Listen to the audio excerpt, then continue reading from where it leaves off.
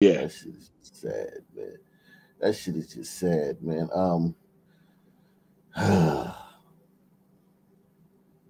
Tonight, an exclusive interview with a woman attacked and robbed, and Houston police are showing us new surveillance video of the horrific incident. And she was picked up, body slammed to the ground. Zach Tautari joining us from the Texas Medical Center tonight, where that woman is. back to the present. Back to back to back to um March 11th, 2023. Of the horrific incident. And she was picked up, body slammed to the ground. Zach Tautari joining us from the Texas Medical Center tonight, where that woman is being treated for life changing injuries. Zach? I spoke to that woman, a mother of three from Vietnam. She was hurt so bad during the robbery, she can't walk. It's gut wrenching watching this video of 44 year old Nung Chung, who tells me through her kids she was beaten so badly she still can't feel her left leg nearly a month later. Đi lại của tôi nó khó khăn hơn. They don't know when my leg can walk again. The surveillance from Houston police shows a suspect walk right up to Trung and wrestle her for her purse. After he grabs it, Right here, she had a chance. You see the hesitation in her gait, um, Cook County?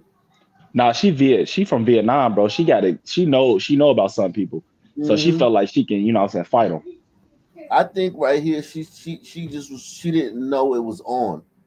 I think she thought she tried to move to the side, because usually when when two people are walking like this, one person will take one side, one person take the other side. Right, she Leah. Let me see. Let me see. But no, no, no. Usually somebody would go to the right though. You know what I'm saying? Yeah. She went to the left. But she sees him making a beeline, usually the man moves. Not, I- That's true. No, that's true. Usually the man moves to the side. He's walked. He made a beeline for her, so she probably was like, "Oh shit!" Something. No, no. You you right about that. Let, let me watch it again. Go ahead. right up to Trung and wrestle her for her purse. It happened so fast, man. God. Nah, damn. you right. You right. I don't think she didn't know it was on. It just happened. She was so she was very casually walking past. Yeah, it, it, it just like she, I, I don't think she had a chance. I think there was just was when when when when when certain things like this, there's nothing you can do. After he grabs it, you can see Trung pick up the money envelope. That's when the robber grabs her again and slams her to the ground, grabs the money, then runs away. It fell over over everywhere, and he he Smash, kind of like maybe depending on the age. No, no, no. Yeah, fuck let's see, that. dude. Yeah, hundred percent smash, bro. You tripping? Them Vietnam, them Vietnamese chicks be decent. Yeah, no doubt.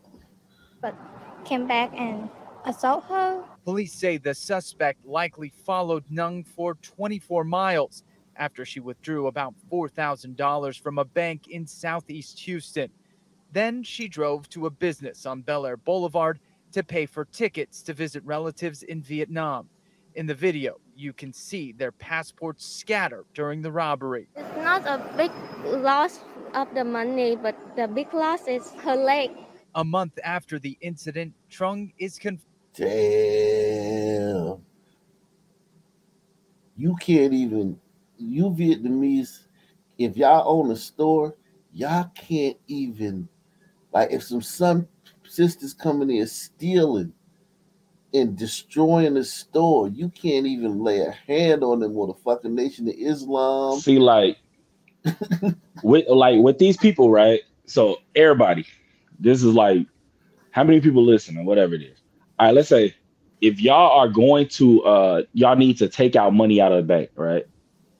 Please get to the bank when the bank opens.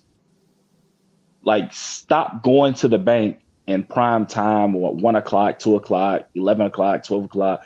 Get to that bank as soon as it opens and get y'all money out. And don't walk out with the envelope in your hand. Oh hell no.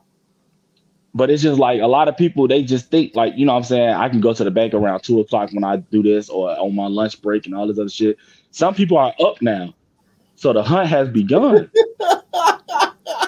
He said we up there two o'clock. no, man, listen, bro. I start work. I start work sometimes at nine and I start work sometimes at 11. Man, when I tell you at nine o'clock, some people ain't up yet. You know what I'm saying? It's chill. Yeah, yeah. Round two, three, four, five, six. Oh, Yeah. it's fucking it's it's carjackings now. It's it's going down. You know what I'm saying? Yeah, they, they're leaving. The, the, the teens are leaving after lunch. They're leaving school after lunch. Fuck And, yeah, school. They don't go to school anymore. All right? They just waking up. Wow, man. Oh, A month after the incident, Trung is confined to a wheelchair. She can't go to the bathroom on her own, and she's in rehab, hoping to walk again. Yes, excellent. I just she gotta learn to walk again. And that Sun Man didn't do nothing. That was one Sun Man. This story I'm about to show you with this other woman in Philly, she had six on her. No, she had eight on her. They arrested six. need to practice trying to walk and stuff. With her family by her side, she's asking for the public's help in catching the person who did this. I'm very sad that this A happened to hundred, me. a hundred and I motherfuckers know who that is, man. Oh yeah. Like, look at him. That is a clear video. That's a clear photo. yeah. Everybody, everybody know who that is. And he wear that fucking hoodie all the time too. Hey, hey, you gotta, you gotta, you gotta understand. Like vets understand, especially like, like you know, what I'm saying coming from the background, they don't change, bro. Mm-mm. Wow. So what's up, Wicked? What what up, Chief? Yo, may, maybe uh maybe some folks don't watch the news, like they don't have IDs, you know, to vote. Yeah, Hey, man. hey, wicked, wicked. Don't, don't, don't, don't, don't uh underestimate my people, man. They got IDs, they got fake uh LLCs. They was getting 30k uh in 2020, man. Don't, Yo. don't trip on us. Yo, Cook, Yeah. I feel you. However, the liberals are telling me that some people don't have IDs. Yeah, Uh, man. A- a- Ain't the ain't the liberals said that? Yeah, man. Oh, we got Fabian in the building. Fabian, Wicked, Cook County. What's happening, man? Hey, how's it going? What's up, man? I'm just chilling. Wh- What are your thoughts, man? About what this uh, this robbery here? The fact that this robbery and the Hmm. fact that gliders like Scott Adams, Yeah. gliders like Scott Adams want to get away from them, and they haven't even they haven't even dipped their toe into the pond yet, and they already want to get away. Oh, for sure. Yeah. I mean, I I, I don't know, man. it's just it's a circus. It's a circus. I, I don't know what to say. Yeah, man. This is this is. a I mean, you're story. right. It's it's interesting. I mean, it's kind of like that. That kind of speaks to a little bit of you can notice like when when Scott Adams made that video. I haven't seen anything else that he's done other than Dilbert, right? Mhm. And I guess he's got a channel or something. He makes videos, so there have been people who have commented on it that are more familiar with his style of speaking and the kinds of things he says. But only having seen that one thing, he was responding to that poll, right? Right. and he was acting like shocked. you know, like what? Whoa! If well, if these people, I mean, it was that, and also he mentioned seeing videos of some people beating up gliders, right? Right. But yeah, he's not even responding to just walking down the, you know, not being able to go outside at night or being in a situation, you know, being in situations. He just sees the poll and he's just like mind blown. and He's it's not kind of he's not responding to coming to hearing something on your porch, looking out your window, and there's a sun teen on your porch using your outlets. And Yeah, then yeah, you come say something to him, and then he summarily comes to break your windows every night.